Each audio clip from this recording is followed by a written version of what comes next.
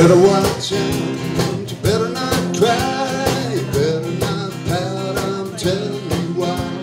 Santa Claus is coming to town.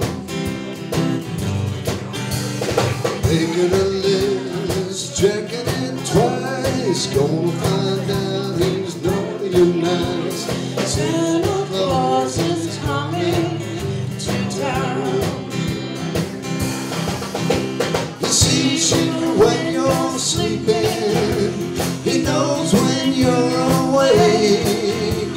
Nobody knows if you did bad or good, so be good for goodness sake. Yeah, better watch out.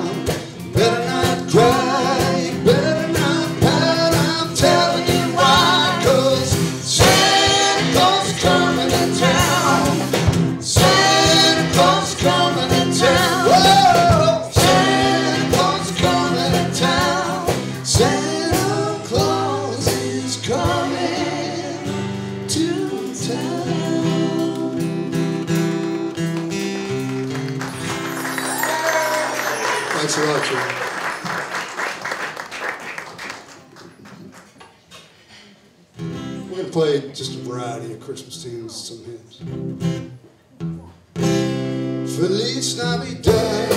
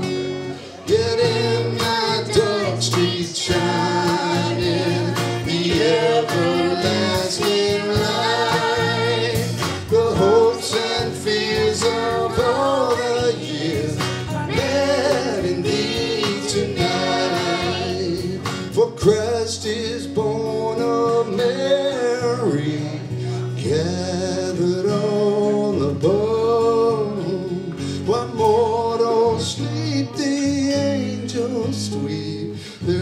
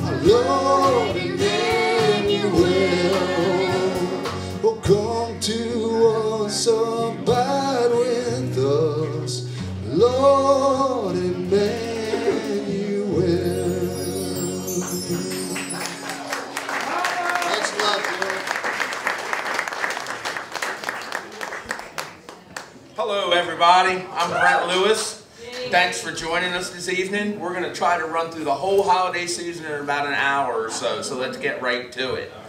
My Waterman friend named Skeeter Philpott, he's awful shy, but he wrote this little Thanksgiving piece, and he asked me to read it for him tonight. So here it is, Skeeter Philpott's Thanksgiving story. Turkey and Dum Dumlings by Skeeter Philpott. I was driving my truck. We had not had a good day. My business partner, Burl Shoalwater, was with me. We had dropped our oyster shucker, Emmett Tide, off at his brother's place, and we're about a quarter mile from Casa de Shoalwater when we got stuck behind a school bus. One of the little kids getting off the bus reminded Burl and me of Thanksgiving. It must have been that brown and orange construction paper turkey he was wearing on his head. Big old Burl cocked his eyeballs my way. His smile caused me physical pain, and I tried not to look at him. I knew what was coming. Burl asked me, why did Turkey join the rock band? I rolled my eyes in the rearview mirror a while before I finally gave in and gave him my answer. I said, why? Burl chuckled that goofy, just getting start, started chuckle of his, and he said, because he brought his own drumsticks. the bus moved, like maybe a hundred yards, and stopped. I wondered whatever happened to the days when all the kids in the neighborhood got on and off the school bus at the one location. We used to wait for the school bus inside Johnny Corsi's liquor store. Imagine that now. These days, it almost seems like the bus stops at every house, whether a kid lives there or not. Burl kept grinning that evil grin. He said, Why the widow tur- what did the widow turkey say to her bad little kids? I eventually said, What? I mean, he was just going to keep staring at me until I did. He said, If your father could see you now, he would turn over in his gravy. Just stop, I said. The school bus did just that. And then it stopped again at the corner. I still wouldn't straight on look at him. Burl said, Why'd they arrest the turkey? I said, Suspicion of foul play. He acted hurt. No, really, he said. Did I tell you about the time my daddy tried to breed turkeys? We all like the legs, so daddy tried to breed a turkey with six legs. And you know, after hundreds of attempts, he finally got it right. My daddy bred a turkey with six legs. Only thing was, Burl said, nobody could catch it. We finally made it to his driveway. He wouldn't leave without one last groaner. He asked me, why did Turkey cross the road? I said, man, I don't know. He said, because it was a chicken's day off. Burl shut the passenger side door with a belly laugh, a belly laugh I've been listening to since we went to third grade Bible school together. He was probably telling those same jokes back then. I try not to remember them. It's better that way.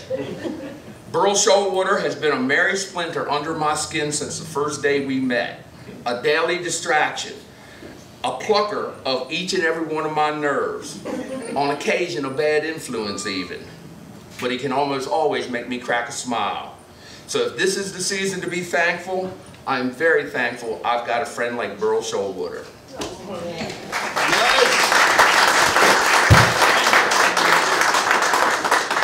Ladies and gentlemen, here's your MC for the evening, Steve Hazzard.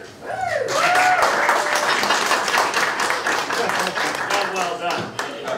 Well, it's tough to follow that up, huh? Welcome, everybody. Tonight we're doing three seasons. We're going to start off with Thanksgiving, segue to Christmas, and then New Year's. So we've got a lot to cover tonight. So I'll be donning separate hats to help you identify when these seasons exist. We have a wonderful uh, guest this evening. We have Mr. Bill Peak from uh, the Easton Library and author. Uh, we have uh, George and Ossi's friends. We've got, uh, what else we got? We got, we're gonna do a reading from the, um, Fred McNeil. huh? Fred McNeil. Fred McNeil, that's right, I'm sorry.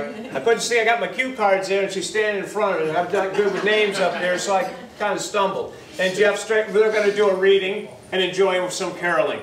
So, first of all, I'd like to thank Rick and Val for opening the space for us. Thank you very much. The Commerce Street Creamery now, this will be our fifth show. Uh, the previous four were successful, and I'm hoping this will be one as well. If you're interested in seeing any of our previous shows, you can look for them on YouTube. We also have to thank uh, Queen Anne's County Television. They're here to film, so take a look for that on Channel 7 and Atlantic Broadband, and maybe you'll be able to see some of this show relived. You're here in a live audience, take part in that and participate. Uh, we have also uh, to tell you other shows coming up, so there is more to look out for. But first, we just got done with Thanksgiving. We got a lot to be thankful. Brent Lewis, who just spoke to us. For those of you who don't know him, it would probably behoove us to get a bio here. He says, a native of Chesapeake Bay and Eastern, sea, Eastern Shoreman, he has published two nonfiction books out of this region, Remembering Kent Island, Stories from the Chesapeake, and History of Kent Island Volunteer Fire Department. For over a decade, Brent conducted the Kent Island Heritage Society Oral Histories program and interviewed dozens of local seniors with stories to tell. Brent has published numerous magazine articles. His novel, Bloody Point 1976, which is a good read, I will add to that, won an honorable mention and award in 2015 in the Hollywood Book Festival. His popular blog, EasternShoreBrent.com, is updated regularly and highlights the memoirs of local history. I'm thankful to have Brent. Brent is my producer, and without him, these shows would not happen. So it's been a pleasure working with him thus far. You know, this past Thanksgiving, uh, Thanksgiving's turned into a weird holiday now. You get up in the morning, you watch a parade, but not quite as much as you used to. All right? And then you start watching football, and the turkey's in the oven, and, and, and I, I kind of, you know, everybody wants to know, well, what time are you going to eat? What time are you going to eat? Well, I got an answer to that, and I think it's the same time across all time zones in the United States. You eat at halftime. right? All right, how about some more songs?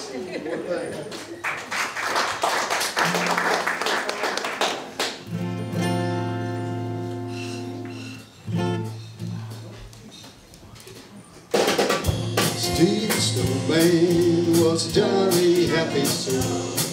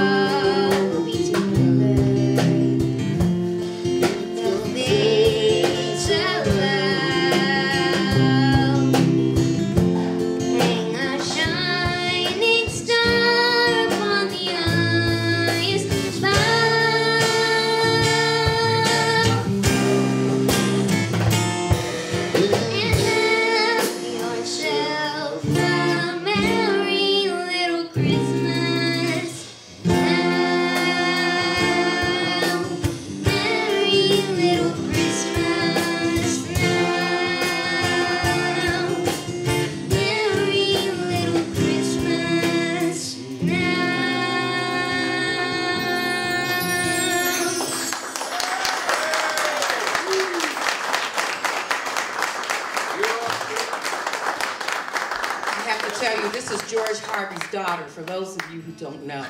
This is Katie, and his wife and his son are sitting to our right.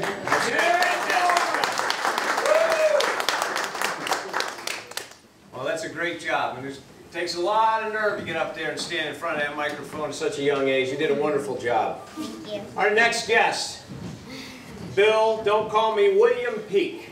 I was talking to him beforehand. William Peak is the author of Oblate's Confessions. When he's not writing fiction, Bill works for the Talbot County Free Library in Easton, and as a result is regularly hailed on the streets there, hey library guy! Bill's poetry and prose has been published in magazines and literary reviews. His poetry has been nominated for the Pushcart Prize. Peak received his undergraduate degree from Washington and Lee and his master's from Creative Writing Program at Hollins. Released by Secant Publishing, The Oblate's Confession took silver mm-hmm. in the Best New Voice Fiction category, of the Benjamin Franklin Awards, won the National Indie Excellence Award for Religion, Fiction, and the Catholic Press Association awarded second place in the Catholic Novel of the Year category. In December, Kirkus Reviews named The Oblate's Confession to its list of best indie books published in 2015. It gives me a great honor to introduce Mr. Bill Peak.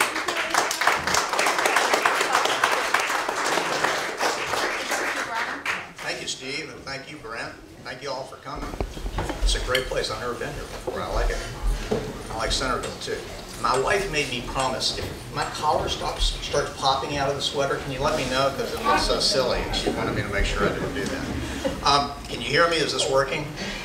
We'll turn you up a little bit, the closer you get, if you want to pull it. Okay, let me see if I can turn it up. a little bit. Just pull a little closer. Okay. Sort of intimidating having that in my face like that. Um, thank you all for being here. Uh, my novel is called The Oblate's Confession. It's set in the 7th century, about 650 AD, the so-called Dark Ages. At this time, it was a fairly common practice for, for families to donate a member of their family to a monastery, a child, with the understanding that that child would then spend the rest of his life there and grow up to become a monk. Such a child was called an oblate. Our novel is told from the point of view of an elderly monk who, at the end of his life, is coming to grips with the fact that as a child, an oblate, he committed a terrible sin. Hence the book's title, The Oblate's Confession. Uh, tonight, I'm just going to read you chapter one, which has the advantage of being brief, and also it's sort of fitting for tonight's theme. I think you'll see. The snow makes a sound as it falls. It is a slight sound, as if the air the snow is falling through were muttering to itself. But it is a sound. And there is something else too, another sound, muffled, distant. Practice? Are they practicing? But it is gone now. Whatever it was, the sound is gone now. The cloister silent, except for the snow. The snow falls and falls.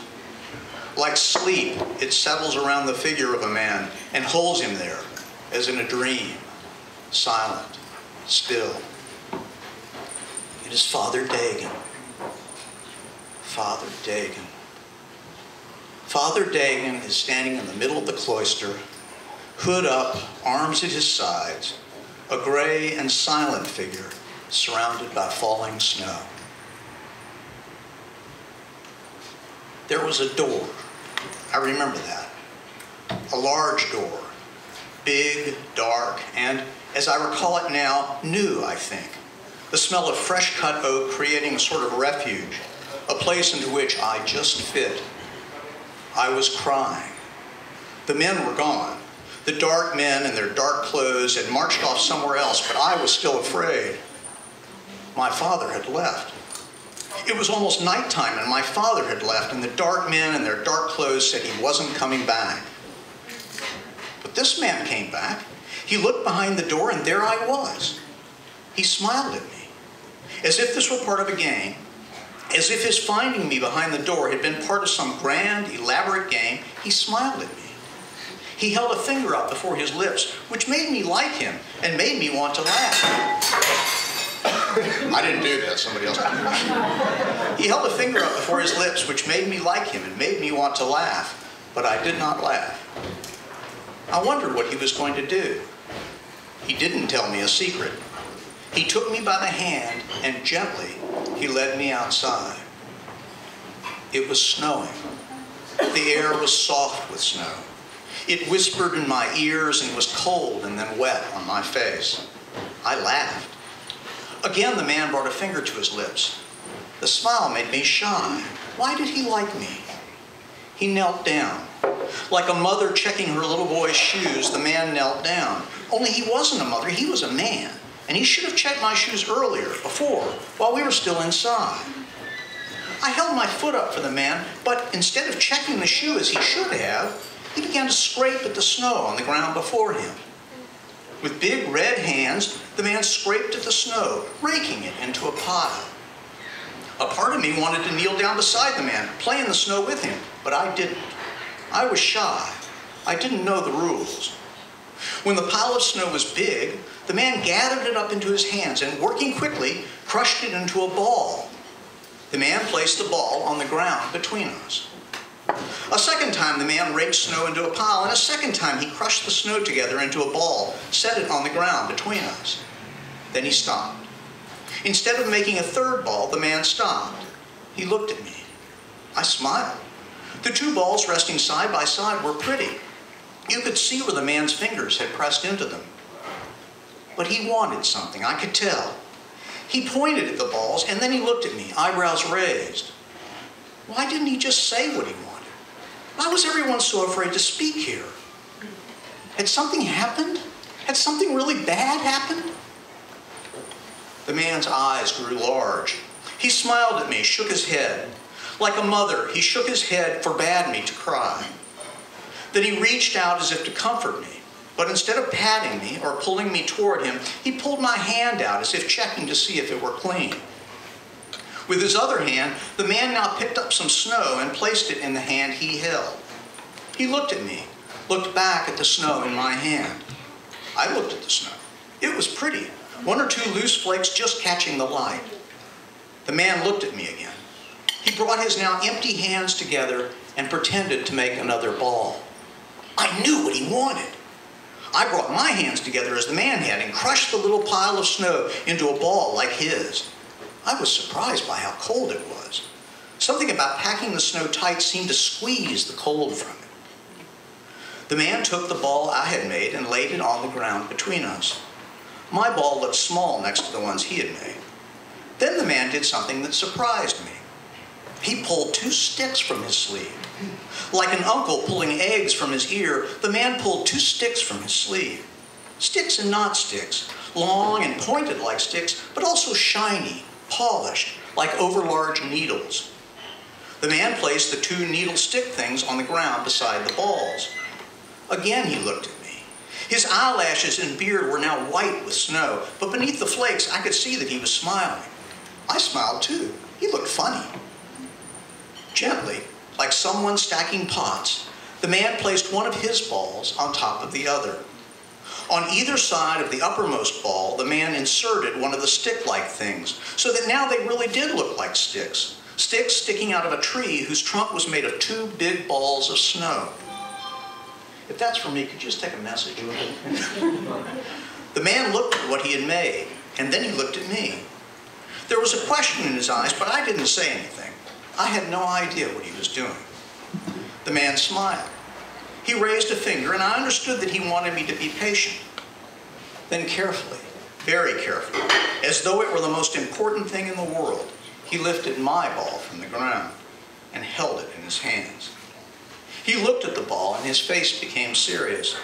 He looked at the two balls he had made, the one stacked on top of the other. He cocked his head.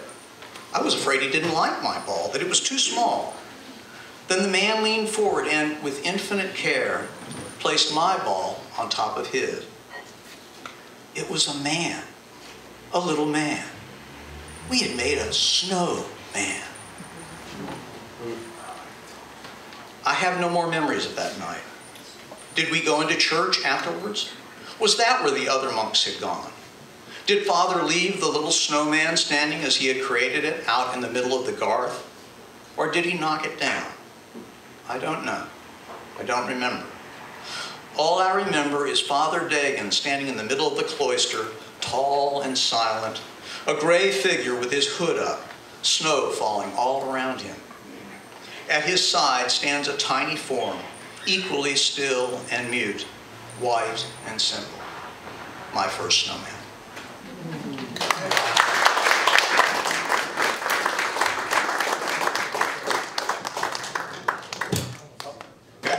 Wonderful, Thank you. wonderful. I was butchering the title, obviously. Uh, it's okay. Everybody has trouble. Yeah, think about think about obstetrician Yeah. or something like that. That's, Yeah, the way I, you butchered the title. I apologize. It's quite all right. Well, you got to tell us about the, uh, the hey library guy. Well, what is that all about? Well. I work at a library. The uh, Yeah. I work at the Talbot County Free Library. I'm the communications manager there. Okay.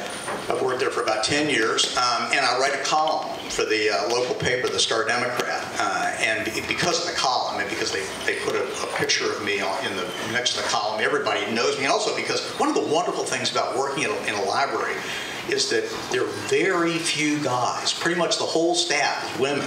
So, so that's terrific. I mean, I really like women. But the downside of that is that whenever anything goes wrong, and people, could, you know, they, it was that guy, the funny-looking guy with the mustache, you know. And they, they, they, there's only one person working there who's got a mustache, and that's me. So they nail me right away. And because of that, also, everybody thinks of me as the library guy. They don't, you know, there, there are a thousand library gals, but there's only one library guy. My wife calls me the library. Oh, so this is your first novel, or have you written others? And now this is my first novel. Okay. Yeah. And how well is it being received? Well, I've been really fortunate. The uh, it's won four national awards.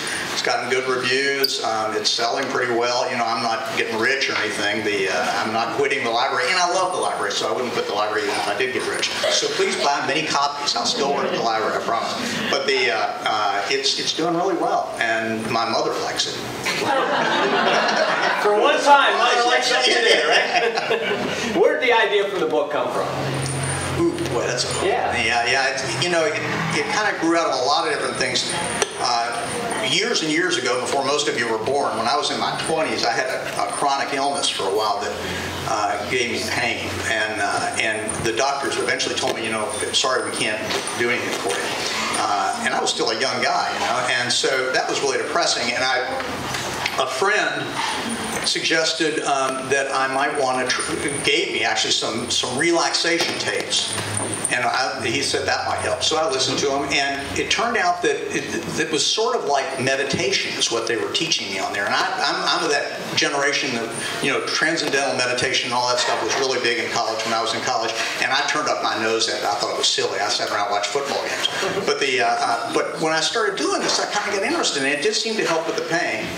Uh, and about the same time, I was in my mid 20s, and I was I was reaching that point where you know we all all of a sudden realized that maybe the church isn't as stupid as we thought it was. Uh, that, that that that maybe I don't have all the answers, and so I was I was going back to the church, and uh, and so those two combinations, I got interested in meditation, and I I learned that there was an early form. I always thought of meditation as something with Asian, you know, that the Buddhists did. But I discovered that there was this early form of Christian meditation called contemplative prayer. And because I was trying to become a Christian, that's that's what I wanted to learn about. And to, and to learn about that, it all began in the monasteries back in the, the early, early days of the church. And so I began studying the history, um, and slowly but surely got very interested in that. And to make a long story short, I discovered the Venerable Bede. Some of you may remember the Venerable Bede from when you were in college. He was a, he was an oblate himself in the seventh century. Uh, as a small child, he was given to a monastery, the monastery of Monk Wearmouth Jarrow spent his entire life there. Um, they think he probably literally never left from the time he was seven years old until he died in his 50s. He never left an area that was about the size of downtown Centreville. Um, yet he, he ended up speaking three languages fluently, published innumerable books, created the first tide charts ever created for the British Isles. I mean, this guy was a polymath.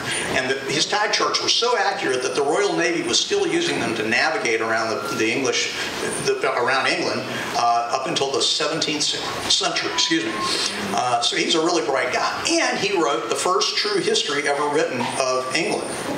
It's called The English Church and People, and it was it was it came out in the seventh century. And I discovered it. I started reading it, and I realized, my God, I've got the material in here for 12 novels. They're terrific stories, and if you ever get a chance, you should check it. You've got a wonderful library here. You should check it out.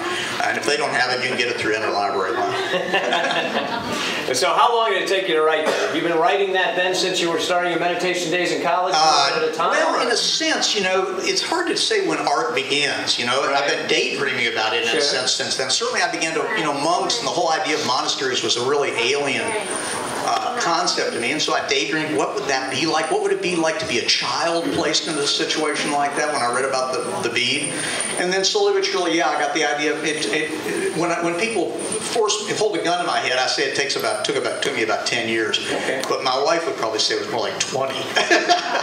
Did she do a lot of rereading of your things? my wife is a PhD historian. Okay. And so I was terrified. I mean, it's one. If, if the history in here is accurate, and it is actually, one, it's it's a great story. But you'll also, even if you don't want to, you'll learn a, lot of history about the seventh century. And the reason it's so accurate is because I knew my wife was going to be the first reader, and she wasn't going to let me get on any of that. So you're not going to let you fudge any No, no, not a single thing. Yeah. Are you working on anything else, or you just uh, Well, I'm, I'm really formulating ideas? The uh, my my my publisher uh, is, I, I, nowadays it's really hard to find a good publisher, and he found me. He came out of the woodwork and, uh, and offered uh, said he wanted to publish my book. And I, for the to be quite honest, I thought it was a scam. I couldn't believe it was happening. But he sent me a really nice advance check, and uh, and there we went. And he's continued to have great faith in me. The man must be mad, uh, but he um, uh, he wants me to, to write. He wants to publish another one my novels. I've got an idea for one. It's about you. Uh, the uh, uh, but I'm so busy with the library. It, it, it takes a lot of time, and yeah, I want to do one, but uh, I also love working at the library. Well, working at the library, then you have to write at night, then I presume, or do you have a special spot that you like to write? Oh, sure, Or an yeah. area or time of day? All, What would that be? all of the above. All right, well, tell me what they would Uh. I, I write in the morning. Okay. Uh, and uh, have you ever heard of the, the uh, Gawain and Sir Gawain and the Green Knight? Do you remember that? It's a, it's a, t- t- a story originally dates from the Anglo-Saxon period as well. And it, it's, they think that Sir Gawain and all the knights of the Round Table are based upon early uh, Celtic gods. And they think Sir Gawain was a, a, a god like Apollo because Sir Gawain's strength waxed, it became stronger as the sun went up, and it waned as the sun went down. Uh, and so, and I've always thought of myself as sort of a Sir Gawain because in the morning, boy, I could write a blue streak. but as the after about really only an hour and a half, unfortunately, um, I, I, you know, I can keep writing, but I'll just ruin what I've written before. Do you write longhand or use computer? I use a computer. You? Yeah, yeah. Okay. So, uh, do you have any any any uh, budding authors in our audience? What advice would you give to them? read. The, I'm not kidding. I mean, that's that's what gives you fluency. Uh, there, I'm, I, I don't know about here, but in Talbot County, it seems like every third person uh, wants to be a writer or thinks of themselves as a writer, and that's great. Everybody should try to write. Everybody should try to express themselves. But a fair, a surprising percentage of them think that you know they're they're terrific writers, but they don't want to take the time to actually read. Um, if I didn't read, I I have to, I, I have three or four books going all the time. Um, it you know it it, it, it it informs everything I think and do. It gives me metaphors. It makes language come to me more easily. You know, when I was when I was these kids' age, I, my parents had me reading uh, uh, Child's Christmas in Wales every Christmas, um, and uh, aloud. And and to this day, I have to really watch it because sometimes those phrases that, that Dylan Thomas used will, will try to sneak into my, my writing. But that's how important reading is because it, it gives you language. Um, uh, so anybody out there that wants to become a writer, boy, you just got to read like a blue streak. And, and you got to read what you like to read, you know, what, what works for you. Favorite author? Ooh, that's hard too. Um, If you had to pin one down. if I had to pin one down, I would probably go with Virginia Woolf. Okay. Yeah, yeah. She's a woman, but she can write pretty well anyhow. You got to be careful in that Uh, audience. no, I know. I, I, my wife always throws things at me. The uh, and, and, and while we're talking women, the, uh, real quickly, because uh, there may be a few people in the room who noticed when they uh, when they mentioned that I got my my master's degree from Hollins. I don't know about how many of you know about Hollins, but Hollins is all women's college, uh, but the graduate program is co-ed. Oh, okay. So when I was there, there were 15 men and 800 women. Good ratio. I, I never cut a class. So you write other articles, you write other stories and things of that nature side. How much influence does Eastern Shore pay on those? Oh, that's that's a good question. Uh, the uh, the Eastern Shore made this book possible uh, because when we moved out here, uh, we lived in Washington before we moved out here 20 years ago. When we moved out here, we bought a, a house out in the country, in the woods, as a matter of fact. And I've always wanted to live in the woods. I love the outdoors. I love fishing, uh, but I never really got to live that way. And um, uh, in, in, if you if you read this book, um, you'll discover that a lot of it has to do with nature. A lot of it has to do with the woods. A lot of it has to do with things like tracking. Um, uh, you know how you track an animal, uh, and I learned all of that in the woods of the Eastern Shore. Um, I felt a little bit like, uh, oh, what was his name, Rousseau, the, the, the, customs official in Paris in the late 19th century who lived in a walk-up apartment and liked and became a famous painter. He painted scenes of the Garden of Eden over and over again.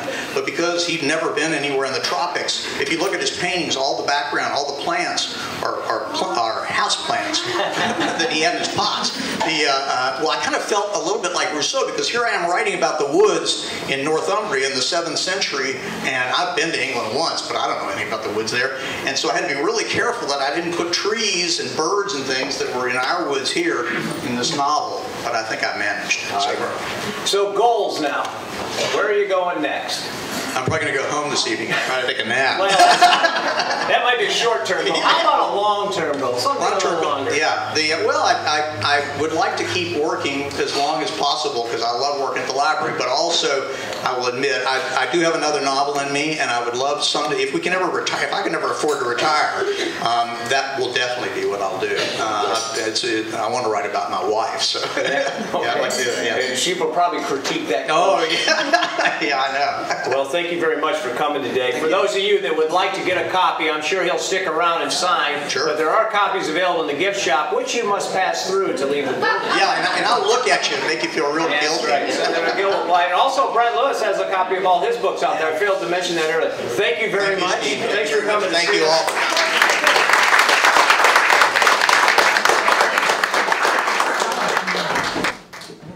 Right, let's hear uh, a couple more. Sure. All right, let's do it.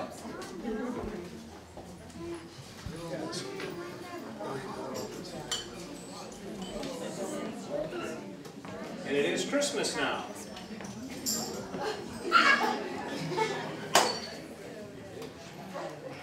It's Christmas. So we're going to do a little hymn. All right.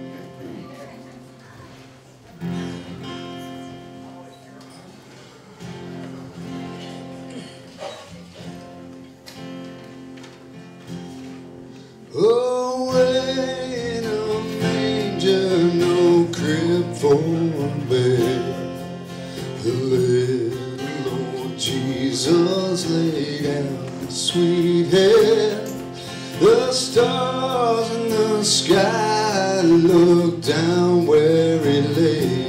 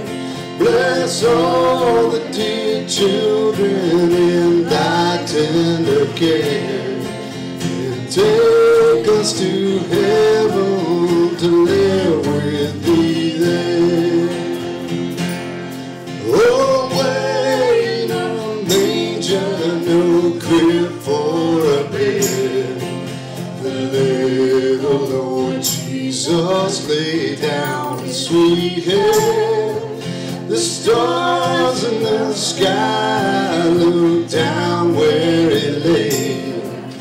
The little Lord Jesus asleep on the hill.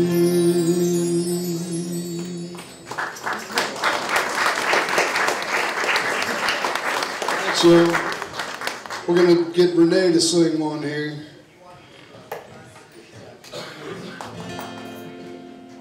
I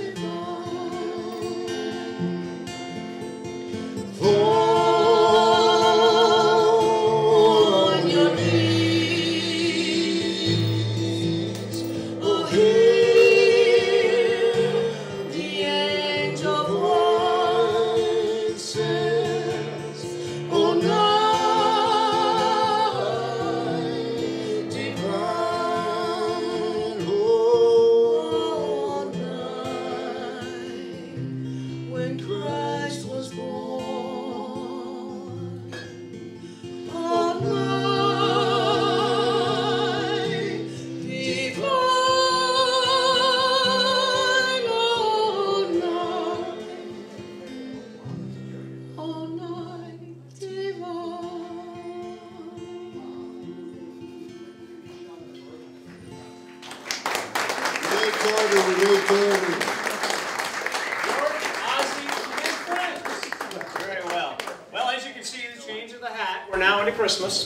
Thanksgiving was quick, wasn't it though? So now we're in the Christmas season. We got the Christmas tree up in the back. And uh, we've got uh, a few other things coming up. But, you know, this time of year makes it very, very difficult. You know, who do you shop for? Who's been good? Who's been bad? Who are you going to shop for? So, you know, what are you going to get them? You know, how much are you going to spend? I got a friend of mine, cheapest guy you ever met. I'll leave his name out of it, okay? But the cheapest guy you ever want to met. And I talked to him the other day, and I said, what are you going to get your wife? And he says, well, I uh, bought my wife a diamond ring. I said, diamond ring? My word. I sat and thought for a minute, and I said, well, the last time I talked to her, she wanted a, a Jeep. He says, well, sure, but where the hell do you get a fake Jeep? Within the Christmas spirit, we have two new audience, uh, two new participants tonight. We have Fred McNeil and Jeff Straight. I'd like to read their bios. They're going to give you a very warm rendition of the night before Christmas. Fred McNeil, retired educator, currently playing golf, writing poetry, serving as a hospital padre, whale watching in Ocean City. Merrill agitating many people as possible, and I'll attest to that.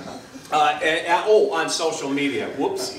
Raised in Montgomery County, Maryland, educated at the University of Maryland and in Vietnam. Thanks for your service. Serving in the U.S. Army. Teacher, coach, vice principal, ombudsman, Board of Education member over 30 years with Queen Anne's County Public Schools. Never met a hopeless cause he didn't want to get involved with.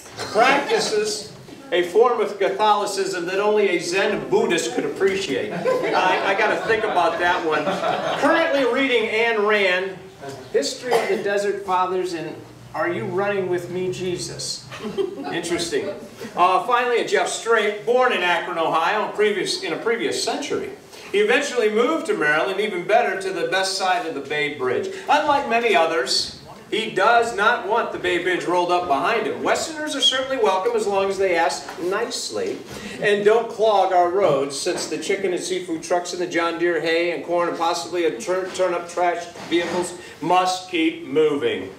He's not sure he's allowed on campus. The major that major has absolutely nothing to do with his present job.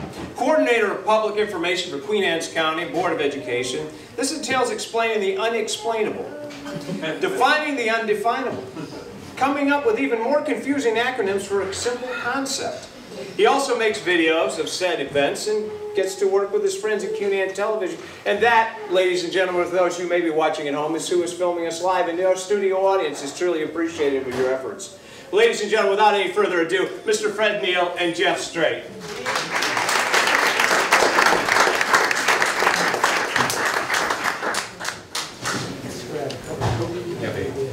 Feel free to move that around if you We're need to. good, we're good. Oh, and sidekick Steve. There you go. You open the doors and anybody can walk in. Hi, I'm Fred, this is Jeff, and this is Steve. Happy holidays to everybody.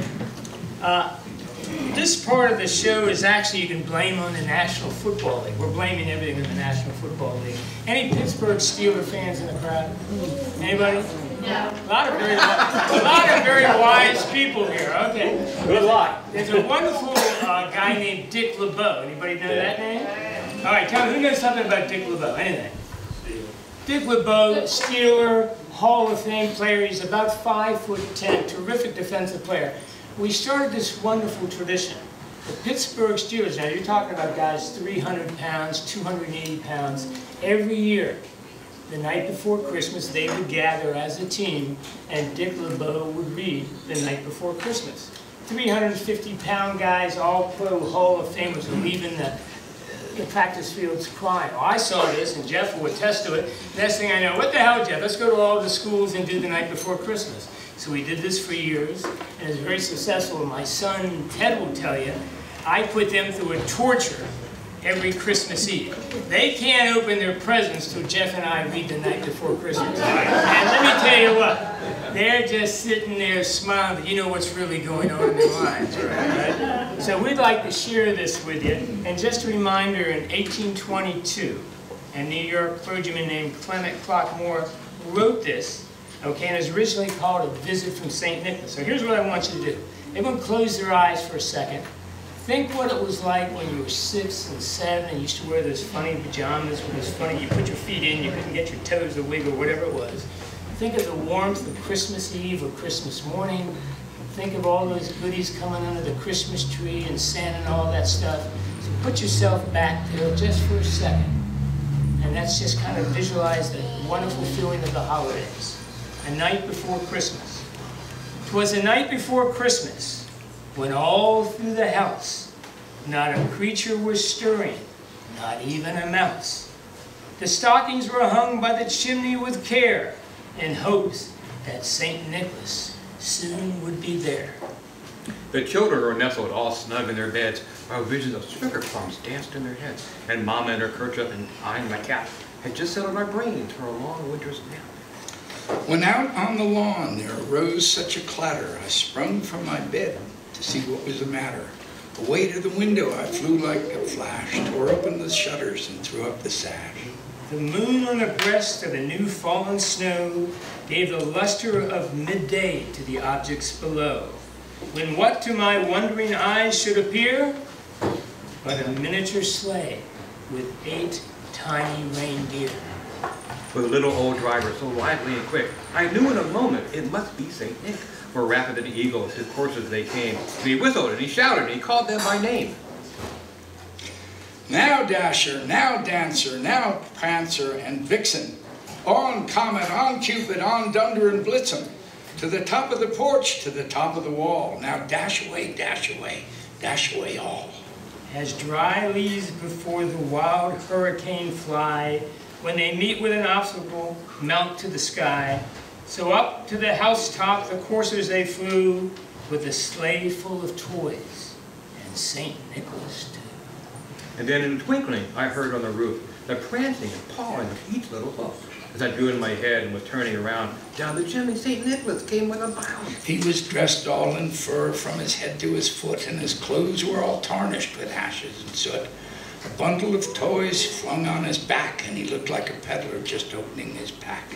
His eyes, how they twinkled, his dimples, how merry. His cheeks were like roses, his nose like a cherry. His droll little mouth was drawn up like a bow, and the beard on his chin was as white as snow. The stump of a pipe he held tight in his teeth, and the smoke it encircled his head like a wreath. He had a broad face and a little round belly that shook when he laughed like a ball full of jelly. He was chubby and plump, a right jolly old elf, and I laughed when I saw him in spite of myself. A wink of his eye and a twist of his head soon gave me to know I had nothing to dread. He spoke not a word, but went straight to his work, and filled all his stockings, then turned with a jerk, and laying his finger aside of his nose, and giving a nod, up the chimney he rose. He sprung to his His sleigh, sleigh, to his team gave a whistle, and away they all flew, like the down of a thistle. But I heard him exclaim, ere he drove out of sight, Happy Christmas to all, and to all a good night. Thank you very much.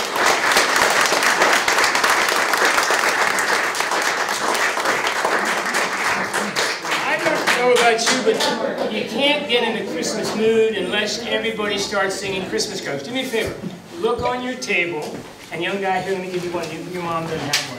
There are some songs, okay? We have Jingle Bell, there you go, and Silent Night.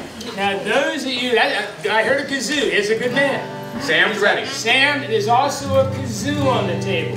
If you don't, now look, we want to raise the roof on this thing. I told Chief of Police Rhodes, you better raid this place about 8 o'clock because we're going to be having a hell of a good time. So George is going to start us out. That start out real simple with Jingle Bells. George, give us a show. Only the first four stanzas, just four. Oh yeah, and by the way, this is from 1857, Jingle Bells. Steve and I were there when they wrote it. I have no doubt. Dashing through the snow in one-horse open sleigh. O'er the fields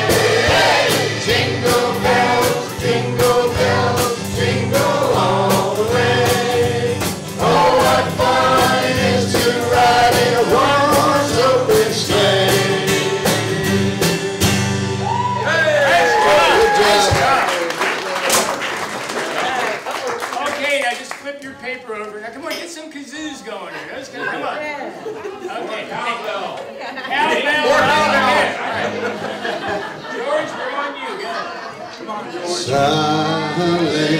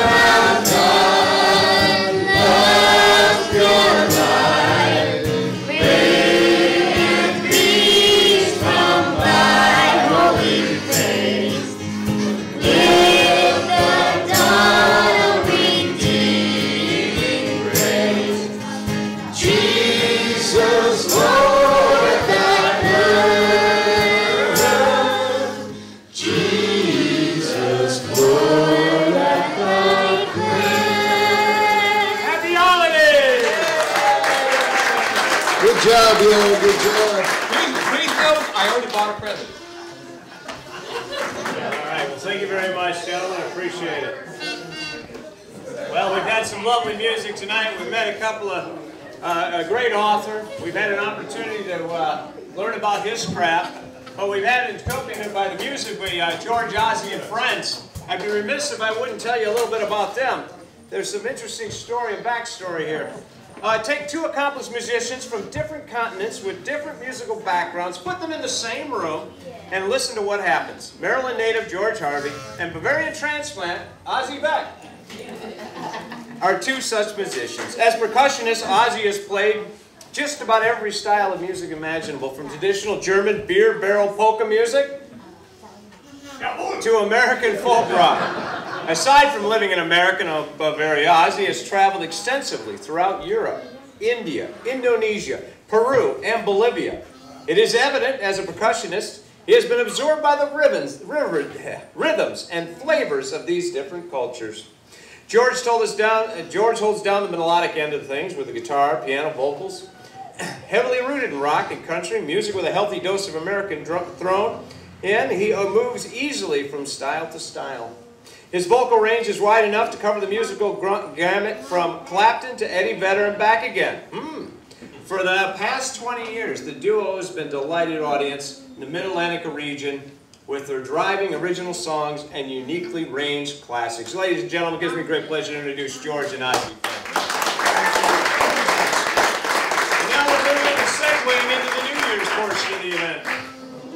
In case you're trying to keep up at home, we are at Queen, uh, we are at Commerce Street Creamery uh, located in downtown Centreville. Courtesy of Rick and Val, they were nice enough to let us come in here and utilize their space. Thank you. Yeah. did that, did, you think that hat messed up my hair? you think it did? I, the parts, I never get the part right. So anyway, it's a lot of work beforehand. So anyway, I'd like to spend a couple of minutes listening to these guys because they have an interesting fact. I'm, intrigued by Ossi. Isn't somebody intrigued by Ossi with all his traveling? Huh? Ossi, what did you do in all those countries? What did I do in those? No, what did you do traveling to those countries? What drew you to all those different countries? Was it work or? No, just interest in different cultures. Yeah. Different art, music, architecture, history. So you were studying then? Some, somewhat studying. okay. Studying the food and the chai they ah, serve okay. there and different types of music.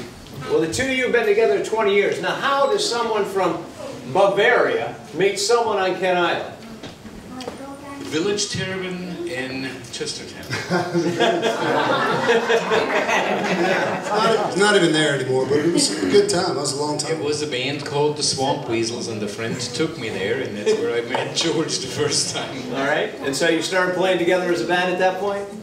Uh, no, he was actually he played with my friend that I was playing with at that time. He played with those guys, but then I ended up moving to the Eastern Shore. And when I moved to the Eastern Shore, uh, the mutual friend that we had was in Czechoslovakia doing a teacher's exchange. Mm-hmm. So Ossi had been playing with him, and he didn't have anybody to play with. I was moving over here. I didn't have anybody to play with. I just called him up and said, "Hey, you want to start a combo or something?" And, and we hijacked Billy's gigs.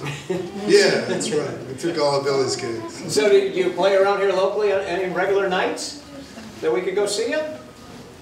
Not too much. Sometimes, I mean, I we used to play more often, but then a family comes yeah. in and I have kids, and my kids are right. over there, and they're uh, right. uh, they're getting older now, so we're playing a little bit more. Right. But they're eight and a half and uh, ten. Right. And we play in the summertime. Ossi plays in a whole bunch of different bands. Oh, do you really?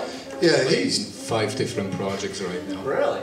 Do you, do you play music for a living or do you have another job? Because five bands would be a lot of work in itself, wouldn't it? Uh, I'm a stay-at-home dad. Oh, okay. That's the way I get out. okay, I can be sympathetic to that, I guess. He's, he's got a, was she two or one? 22 months. 22 months, that's, wow. his, that's his other job. He's got a yeah, 22 month old. Well, that's as much as five Keep, Keeps me busy at home, but she yeah. drums and she likes to drum, so it's good. In your bio, you guys have written some original music.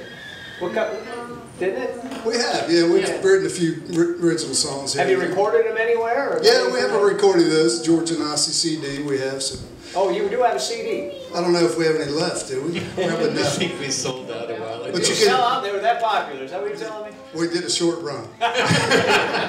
So it's a collector's CD, is what you're telling me. It's a collector's item, that's right. All right, I just want to make sure. So on eBay, don't be afraid to pay too much, folks. Okay? Sounds like there's not another one coming.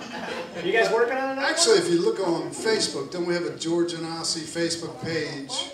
Yes, it's George, comma, Ossi, O-S-S-I, no E at the end, and friends, and on there, there's a link about music, and you can find the original tunes on there through ReverbNation, I think. Yeah, we have a ReverbNation There's a link, there's a link there when you go on that Facebook site, if you're interested, you can listen to them. So all the songs that we did on the CD are on there, and you can down, you can download them if you want to. Oh, well, wonderful. So We didn't- then we can get more of that friend Yeah, so it's not, the CD's a collector's item, but the songs are not.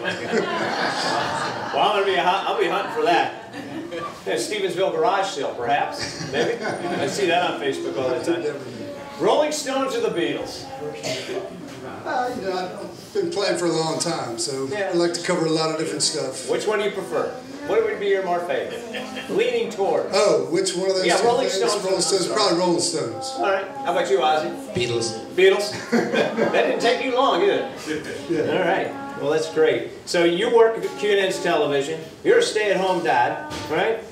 Have you played with any famous musicians, musicians that we may know? Wiz not, but I got to open up for some somewhat famous people like Oh. Little Feat. Oh, really? All right. Anybody else, or that? I mean, that's good. I didn't open for anybody. Right. No, there. Um, I used to play with a guy who's pretty famous right now, uh, Lex Price. Uh-huh. He plays with k.d. lang. He's a producer in Nashville, and both of us used to play with a band called Red Letter Day. They have like four albums out. Somebody knows you that can one. buy them on CD Baby or Amazon or so. Yeah, okay. So we can get more of Ossi on Amazon. We can get these books on Amazon. Amazon seems to have everything except the original CD. Anyway, Not yet. might be a good spot to put it. But, but maybe we're lucky, like the gentleman with the book, that Yes. uh, they find us through the TV show. Yes. We get a producer. Absolutely. Yeah, so those at home, get on Amazon, make it pull advertising, not push, right? All right, so uh, what, what was your original musician that inspired you? What one said, hey, I want to be a musician, I want to play drums, I want to, is there one that, uh, either of you? It's, it's such a long time ago, it's Yeah. kind of hard to remember. Inspired or What got, me? you thinking, man, I'd love to play the drums like that guy? No, it was not really like this. I had a neighbor across the street who was the only grown-up person in a youth orchestra playing the ba- uh, the big drum, with Yeah. the cymbal on top. Right. And he tried to lure me to take his place for about two years. And when I was, I think, 14 or so, I finally agreed to go with him one time. And 11 years later, I quit the brass band. and during that time, I finally got into, bought my first drum kit. Right. So I Good. Did you drive your parents nuts playing it in the basement, in the garage? To be honest, um, they never complained. We played in the basement, which was Okay. right underneath the living room, Yeah. and for years and years, I had no clue how tolerant they were. Till one day, the rest of the gang playing original rock music kept playing while I walked upstairs to get something, and I realized how loud this was. Oh, yeah. No question. Yeah, the parents definitely put up with years of Years. band, basement band practice, no doubt. All right. I don't think there was a neighbor of mine probably that played uh, keyboard. He had a Hammond organ, and he was just amazing. You know, he was older than I was, and, Uh-huh. but and I talked his little brother into getting a bass guitar, and I got a guitar for Christmas. We were 14 or something, and we played for a little bit, but he didn't like playing bass, and music wasn't for him. But he gave me his bass, and after that, I became a bass player for years. I switched from guitar to bass. And, I don't know about any specific musician. Formal we lessons, you or know, just teach yourself off the radio, what did you do? I took piano lessons Okay. for five years, but Right. I only took a couple of guitar lessons with the electric guitar. And after that, it was just all our friends played music and Right. people show you stuff and just sort of pick it up. It was a good time to start, wasn't it? It's still a good time to start now. Young, our youngsters in the audience, any of you play music, uh, musical instruments? Any of you? No, they got real quiet. Katie's getting ready to start. Okay. Well, Ossi and friends, and well, thank you very much for coming here tonight. You get yourself ready. We're going to hear a couple more. I'm going to wrap things up here, but thank you very much. Thanks for having us.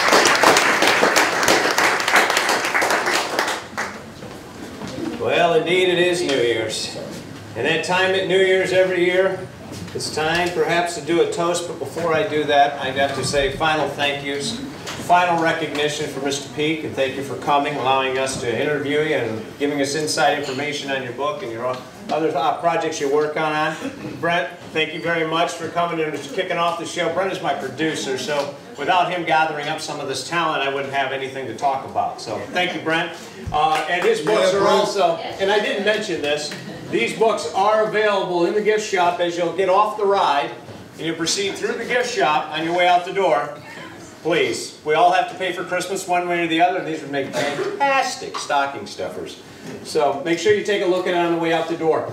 Uh, thank you very much, Bill Peak, Brent Lewis, Fred McNeil, uh, uh, Mr. Straight, thank you. It's uh, Ossi and, uh, sorry, sorry, George, George, Ossi, and and friends. Ossi and George. I can't seem to get it right. But thank you very, very much. Rick and Val Colby, thank you for the use of your building. It's been a wonderful evening. Queen Anne's County Television, of course, thank you. It's live. There are four or five other shows that we've done, I think four other shows that we've done if you'd like to see what they look like on YouTube. A lot of interesting guests there. So if you will all please raise your drinks, get your kazoos ready. I have a very short toast. All right? Here's to a bright new year and a fond farewell to the old. Here's to things that are yet to come and to the memories that we hold. Happy New Year! Go ahead, guys.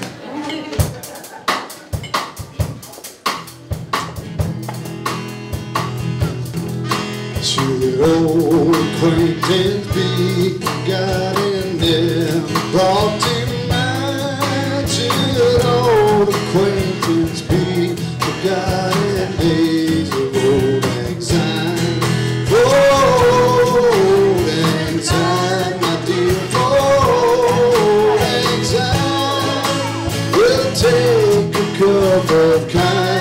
kindness